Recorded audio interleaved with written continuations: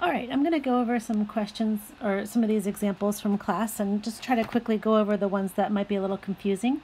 Um, I don't feel like this first problem is is uh, too confusing, so I'm just going to go ahead and leave it. It's just adding and subtracting. All right, this next one. So we multiplied and divided here. And so um, remember that when you're multiplying, you know, this expression is the same as that. And, you know, it's just a simple distributive property. We went over that in class. I feel like that was okay. Um, here, in this division problem, um, really, you know, you're just placing f of x over g of x, and that's just a simple fact. Um, when you're done, you should recognize that um, all three parts, these, these three pieces, all have x's. So I basically am canceling an x out from everywhere. Or you can also treat it as factoring as I've done up here. Okay? But your domain, back in this original problem right here, it would not be good to use 0 for x at the bottom. So you do have to mention that your domain is everything except x can't be 0. Okay? So it seemed okay. So let's go on to the next. Um, now here, in class, we worked on this one.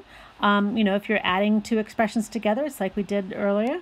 It's um, you put a big old plus sign between them, and sometimes that's all you can do. So this might be just your answer. Now it turns out in this case we can do a little bit more with this, um, and subtracting, same thing. Um, so let's go ahead and uh, work through this on the next page.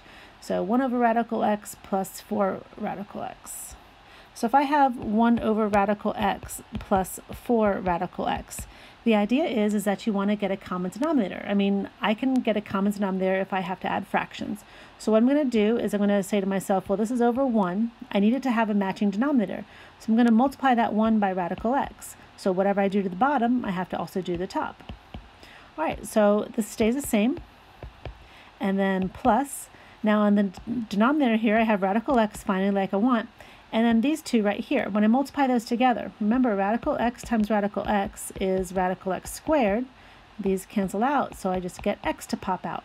So this is just going to be 4x. So by the time I'm finished, I have 1 plus 4x in my numerator, and my denominator is radical x. Now, all along I've had this radical x in the denominator, even back from the beginning. So I need to think about my domain. I definitely can't have x be 0 because that would make the denominator 0. And also I can't put any negatives in the uh, radical. So I want all real numbers, but I only want real numbers that are where x's are greater than 0. I can't use negatives and I can't use 0 itself. And then for the subtraction problem, it's really just the same thing. The plus turns to a minus, and so you get the same answer that you had before, same domain. All right, so this one right here, multiplication and division. All right, so I'm going to do this on the next page. I have 1 over 4 radical x times 4 radical x. Okay, my domain, I could think of it right now, same thing. There's a radical x in the denominator. So I do not want that radical x to have a negative inside or a 0. So my domain is the same thing. All real numbers, x is greater than 0. When I do this, let me check and make sure I wrote it correctly. Yeah, oh, I put an extra 4 there. Sorry about that. Let me erase this little 4. I'll just put a radical x back. All right, so when I do this, after I decide my domain, I notice that these cancel. So I just have 4. That's my answer. On the next problem, I needed to divide these, so I get 1 over radical x divided by 4 radical x. So remember, when you divide, I could write the division like this, 1 over radical x divided by 4 radical x. And remember division, like back in elementary school. If you have something like, you know, 2 thirds divided by 1 half, remember you used to do this? 2 thirds times 2 over 1, you would multiply by the reciprocal. So that's what we're going to do here. I have 1 over radical x times, and the reciprocal of 4 radical x would be 1 over 4 radical x. Okay, so when I do that, the tops multiply to 1, the bottoms, 4 radical x times radical x will just be 4x, and I'm done. Okay, so this is my division, this was my multiplication up above, and my domain here, same as before. I noticed that in the this original problem, I had a radical x in the denominator here and here, so my decision is the same. All real numbers where x um, has to be greater than 0. And uh, there's the answer as well. Same thing. All right, So let's take a look at this problem. So I want to divide these things. All right, so I've written the, the answer there, but let's explain it. So I have basically 6x to the fourth is my g of x divided by 3 over x, which is my f of x. So I'm about to do this problem on the next page. So I have 6x to the fourth divided by 3 over x. Let me just make sure that that's correct. Yep, okay. So remember, this is division. So division is like multiplying by the reciprocal. So I'm going to keep my 6x to the fourth, that's the first part. I'm going to change this to multiplication, and remember that second fraction flips up next to this.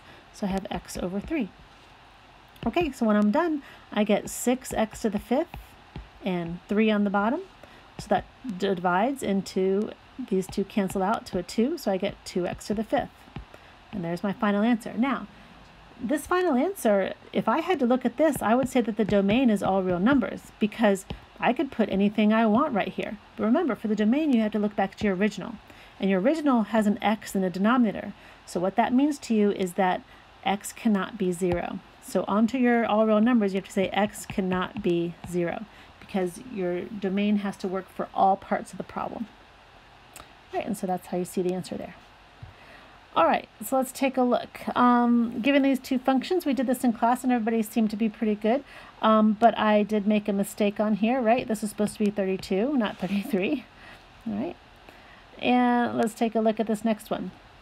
So in this next problem, um, just to explain a little bit, you know, w of h of 3, it's best to find h of 3 first, like literally just find the answer. So you're going to plug 3 into this problem.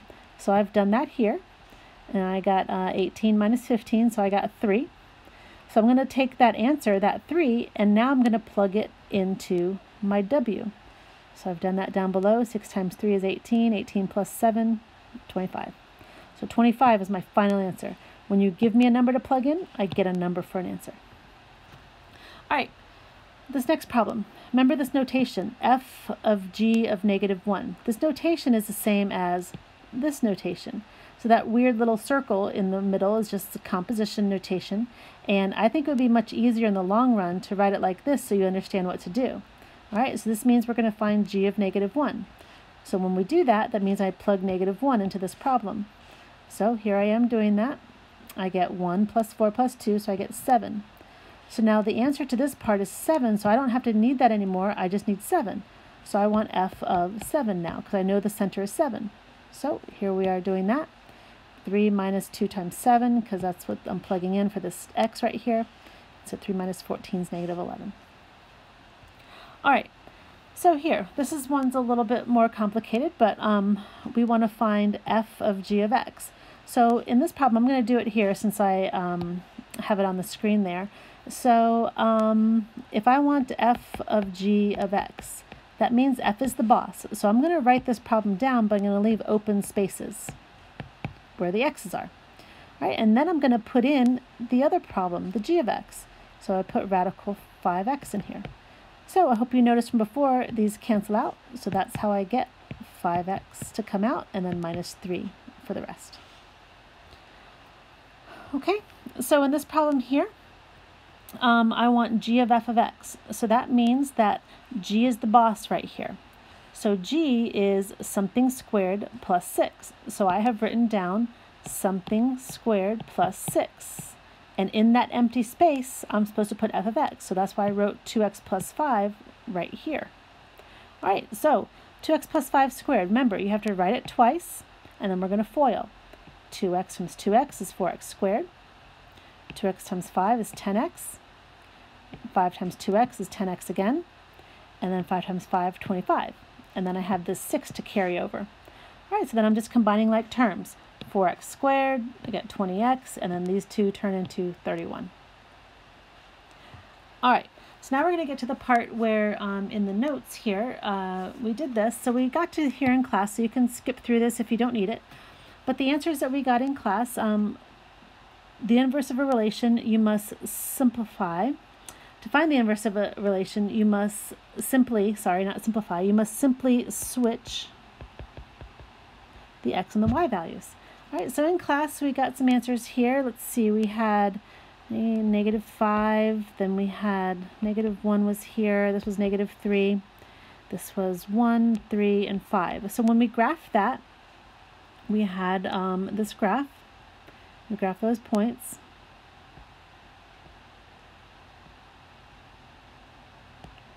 Right, and then we drew a line. And then we came along and did the inverse. Remember, the inverse is the reverse. So I have negative 5, negative 2, negative 3, negative 1. Z uh, let's see, negative 1, 0. Uh, 1, 1 doesn't change. And then 3, 2, and then 5, 3. So if I graph that,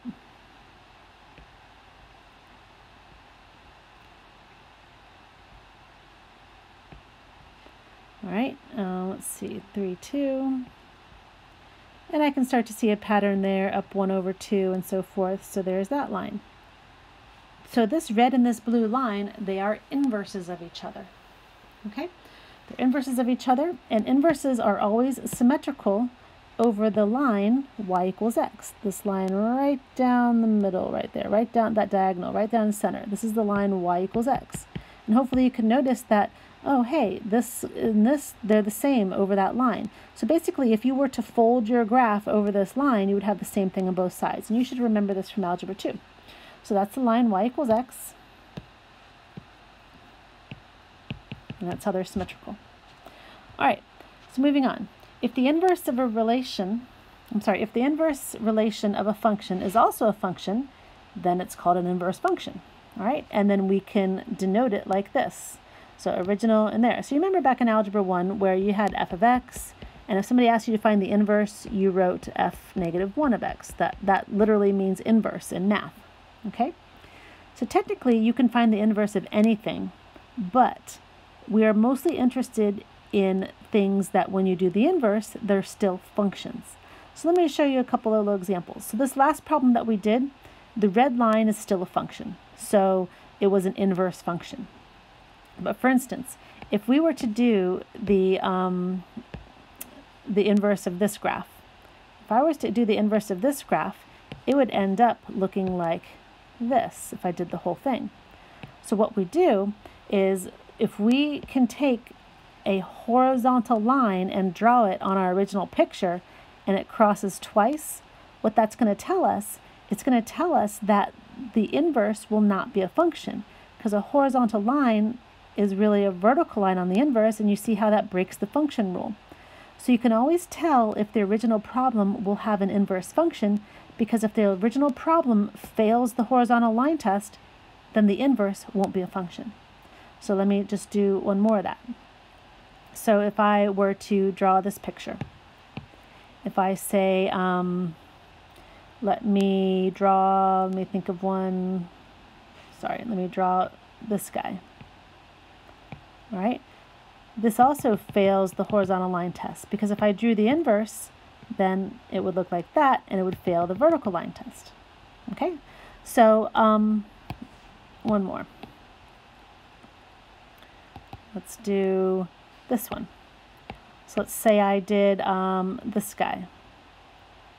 That one right there passes the horizontal line test because the inverse looks like this. The inverse looks like that, and it passes the vertical line test, right? So all the horizontal line test does for you, it tells you if the inverse of a function will still be a function. That's it. That's all you're trying to tell. All right, so that's defined right here. a couple of your Mathspace questions are on that. All right, so finding inverses using a graph. So if you're using a graph, all you're going to do is switch the x and the y values in your points. And that's fairly simple. But using equations, what we have to do is we have to actually switch the x and y, and we have to solve for y again. Sorry, that's so messy. So we have to switch the x and the y, and we have to solve for y again. All right, so we're going to do that here on a few problems. So my domain originally of a line is all real numbers. My range is all real numbers. This is for the original problem. So let me find my inverse. I'm going to switch the letters. x equals 2y minus 1. Then I have to resolve for y. So I'm going to add 1 to both sides.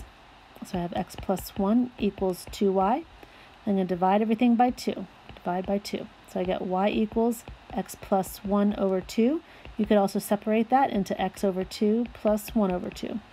All right, so this is still a line. So this is, the domain is still all real numbers, and the range is still all real numbers. But frankly, I also know that because the domain of the original is going to be the range of the inverse. The range of the inverse of the original is going to be the domain of the inverse. They switch places. All right, so let's move on to letter B. So in letter B, think about the graph of this thing. Let's do the domain and range. So the graph of this x radical x plus 3, it starts at negative 3 because it's moved to the left 3, and it rises up like that. So the domain of this thing is everything to the right of 3. So it's x's greater than or equal to negative 3. And I'm going to write that a little bit differently, actually. Let's write it with interval notation. So it's from negative 3 to infinity. The range is everything 0 and up, because you see the lowest it goes is 0, and then it just goes up from there. So 0 to infinity, bracket on 0. So this point right here um, is negative 3, 0. All right, so let's do our switch. Remember, f of x is y, so I'm going to reverse everything. I'm going to make this x equals radical y plus 3. So now remember to um, get rid of the radical, we have to square both sides. So um, that would pop out the y plus 3, and I'd have x squared. And take away 3 and be done. So I get x squared minus 3 equals y. So my inverse is basically f negative 1 of x equals x squared minus 3. So that way, you know, my original problem said f of x, so I'm going to write f negative 1 of x. All right, but my domain and range have to be the reverse of everything else to keep it a function. All right, so I have to do my domain is 0 to infinity, and my range is negative 3 to infinity. Remember, it's just the reverse of the original two, down here.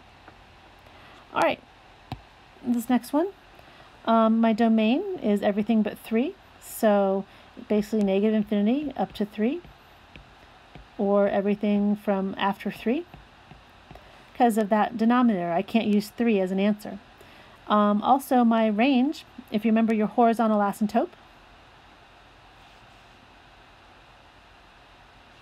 uh, what just happened? All right, my horizontal asymptote is um, y equals 0 because the top has a no x's and the bottom has an x to the first power. So my horizontal asymptote is y equals 0.